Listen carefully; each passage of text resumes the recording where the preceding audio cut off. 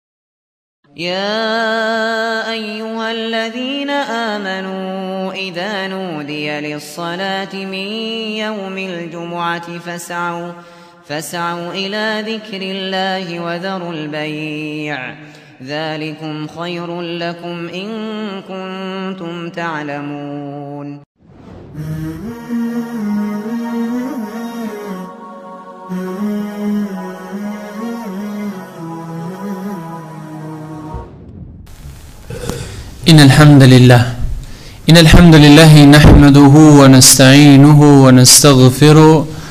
ونعوذ بالله من شرور أنفسنا وسيئات أعمالنا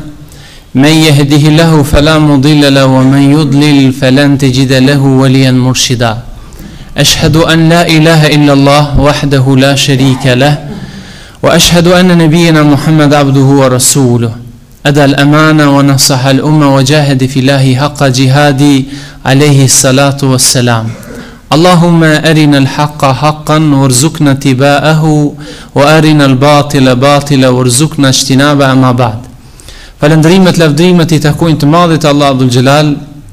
Salavatet përshëndetjet ia dërgojmë Muhammed Mustafasë familjes shokëve dhe gjithë besimtarëve që ecin dhe e pasojnë atë deri në ditën e gjykimit Gjëja më e shtrej që njeriu posedon në jetën e kësaj bote janë vlerat e tij parimet e tij identiteti i tij, besimi i tij. Dhe njeriu është i thirrur që në udhëtimin e tij në këtë botë është i thirrur që t'i ruaj këto vlera sepse është pasuria më e mirë që ai posedon. Apo thënë më shkurt, ajo është identiteti yt me të cilën ti njifesh, vlerat tua, janë ato të cilat tregojnë se kush je ti. Në anën tjetër, jeta është e tillë, nganjëherë që njeriun e sjell në sfida dhe provime të ndryshme. Kur ai vie deri me një masë, vie deri tek një vijë që ai mund t'i shet këto vlera për pak çmim të kësaj bote, apo mund t'i shet këto vlera, këto parime, këtë besimin e tij, identitetin e tij, për gjëra të ulta siç janë epshi, egoja e tij dhe kështu me radhë. Kur nxënësi studenti në ditën e provimit e harron përgjigjen, ai përballet tani me një sfidë, me një provim. Në një moment për cilën është mes asaj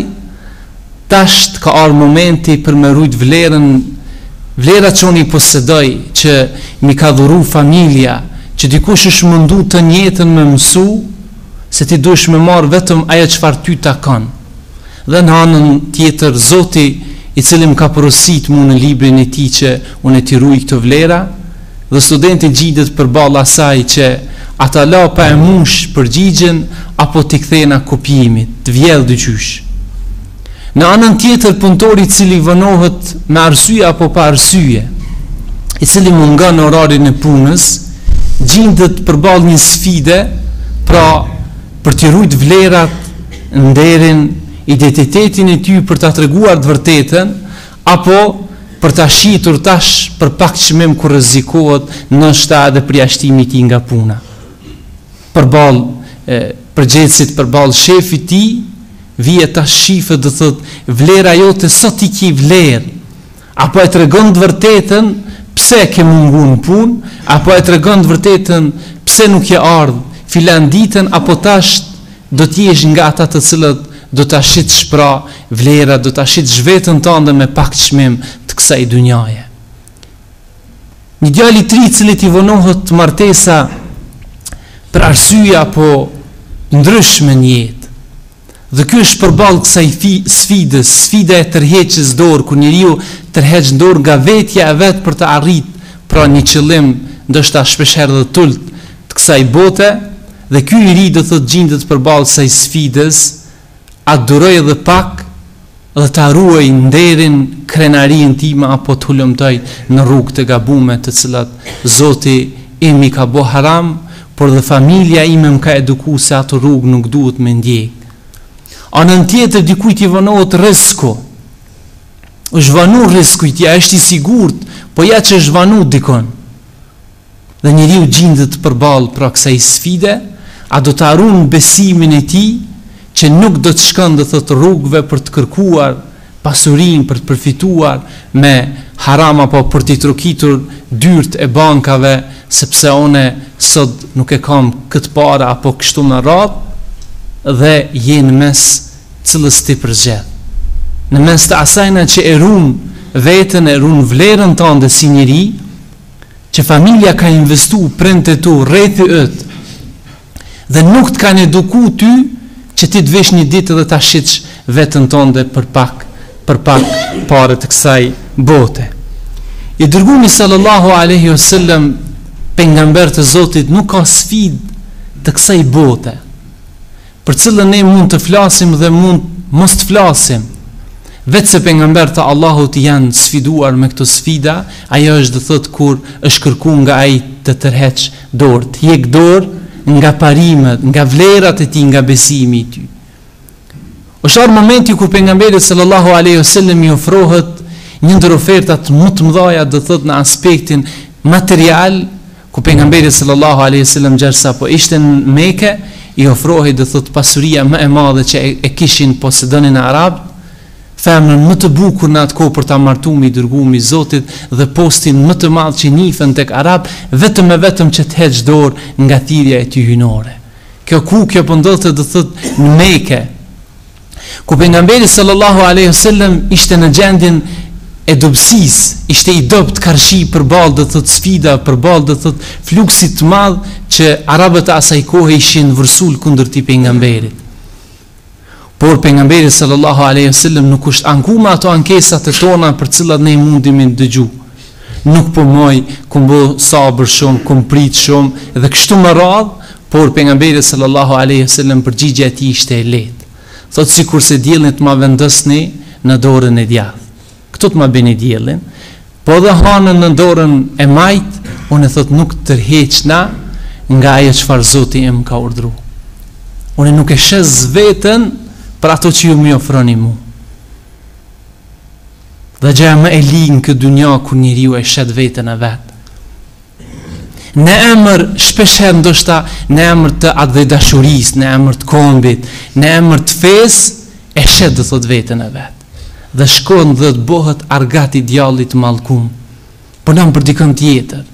n'dam kujt, n'dam t'vatanit tij, n'dam vendit tij, n'dam kombit tij, n'dam t'fesë tij, vetëm e vetëm do thotë se ai nuk ka mujt me sfidu, do thotë, këtë një ndër provat e kësaj bote. Dhe ma e rrezikshme është do thotë se ky ky nuk mundet me dal faqebardhë. Ai i cili e shet e shet pragun e shpisë vet, Ky njeri është krijesa më e ligë mbi rruzullin tokësor, pa marrë parasysh në emër çfarë ai t'ban, në moment që e dëmton vendin tënd, e ke dëmtu kombin tënd, e dëmton fenë tënde, pa marrë parasysh arsyen me të cilën ti mundesh m'u arsyetu, dije se je krijesa ma ma e ligë mbi rruzullin tokësor. Pejgamberi sallallahu alaihi wasallam Këto oferta ishin të njëpasnjishme, kur erdhën arabët dhe i thanë, O Muhammed, ne kemi një ofertë shumë interesante për ty. Ne do të adhuromi Zotin tënd një vit dhe ti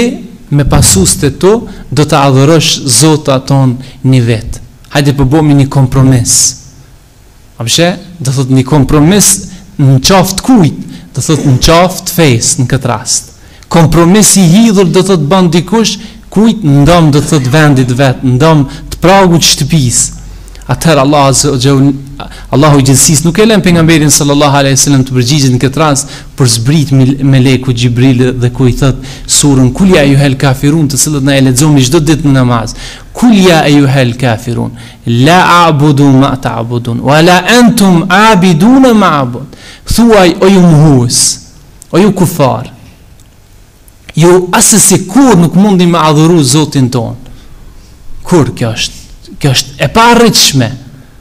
por edhe ne do thot kurrë nuk i adhuromi Zotat e juve, sepse ne i bimi një Zoti n'sexhde. Ne kemi një vetëm Zot dhe kështu pejgamberi sallallahu alejhi dhe selem nuk tërhiqet, nuk tërhiqet nga oferta dhe nuk bie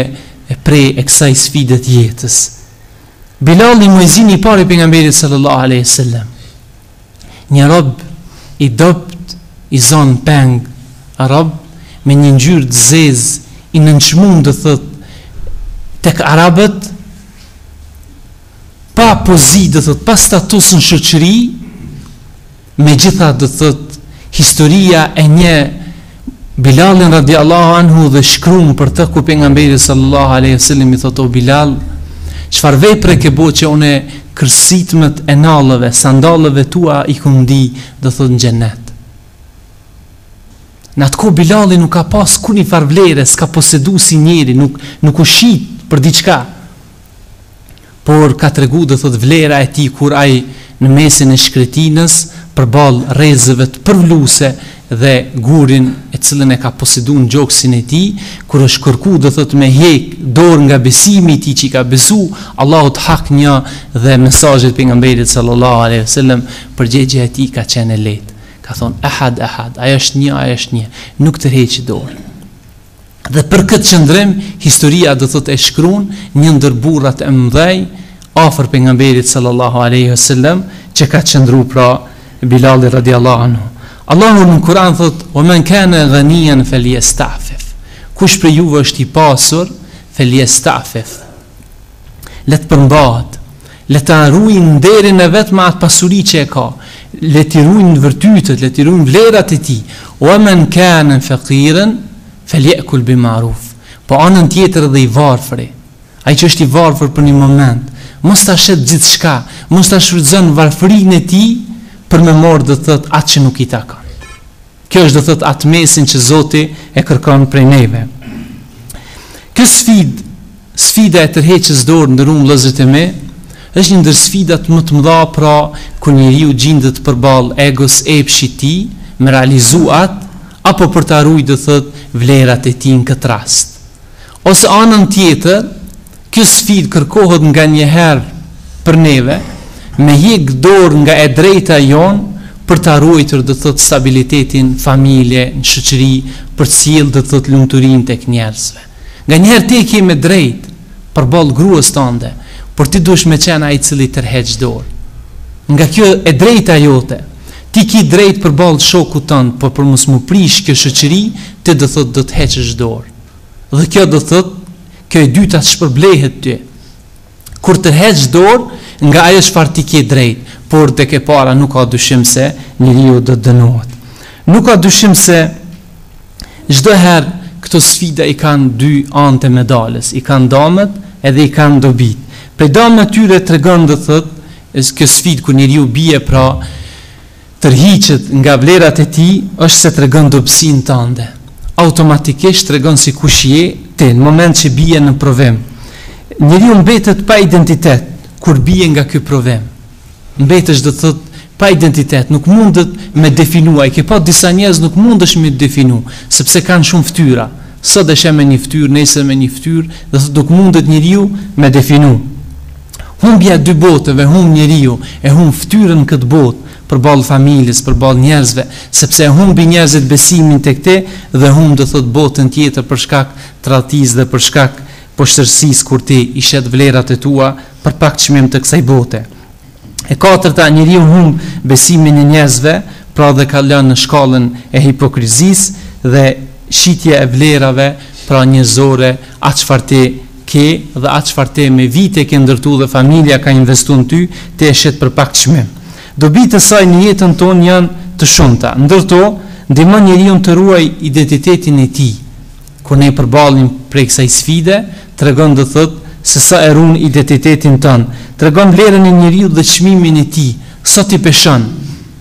në këtë botë tregon do të thotë sa ti do t'i ruajsh vlerat e tua. Anën tjetër lumturia e jetës është në ruajtjen e pra, e, pa, e parimeve, vlerave. Lumturia është këto e jo në shitjen e tyre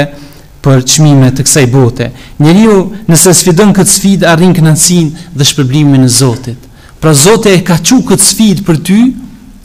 me tregu realitetin tënd se kush je ti dhe me kqyr do të thotë se ti a mundesh ta mposhësh egon dhe nefsin tënd apo gjanat e kësaj bote do të mposhtin ty muslimanin e kalit dhe e bën më të fortë kur vjen kjo sfidë do të thotë qëndron përballë do të thotë kësaj dallge të jetës muslimanin e kalit dhe e bën më të fortë mundësia për të kuptuar dhe dalluar të vërtetën prej të pavërtetës Pra kur vjen do thotë joshesh me diçka dhe ti nuk e pranon për asnjë çmim për me lëshu pej prej vlerave parimeve tua besimit tënd kjo tregon do thotë se ti ke arrit me dallu të keqen të mirën të bardhën të zezën të vërtetën prej të pavërtetës dhe për fund për të sjellë do thotë ilaçin ose si duhet ne si besimtar të veprojmë, ku thash se Allahu xhele xhelaluhu sjell në Kur'an shembuj shumë të pejgamberëve. Një ndër ta e sjell edhe Jusufin alejhi selam. Këtë pejgamber që Zoti e ka sprovu me shumë sprova të jetës, Një ndër to e ka sprovu do të thotë kur është kërku nga ai të heqë dorë nga vlerat e tij. Allahu e përshkruan momentin pra ku pejgamberi i Zotit Jusufi është sfiduar me këtë sfidë, "Wa laqad rawadtu an nafsi fasta'sam." Dhe kur gruaja, zoja e pallatit i tha, "Unë e josha atë nga vetja ime, u mundova ta afroj afër meje fasta'sam, por ai u mbrojt."